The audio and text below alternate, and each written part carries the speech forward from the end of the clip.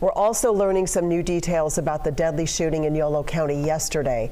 Police say a man was armed with a 12 inch kitchen knife when he was shot and killed by an officer with the West Sacramento Police Department.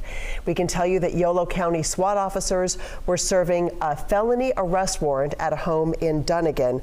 The man was wanted for alleged sex crimes against a child. When officers found the man, they say he was inside a trailer, not talking to officers.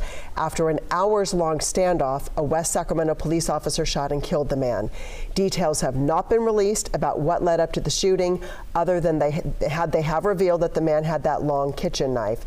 The officer who fired his gun has been with the West Sacramento Police Department for more than seven years. Police say that body camera video will be released in the coming weeks.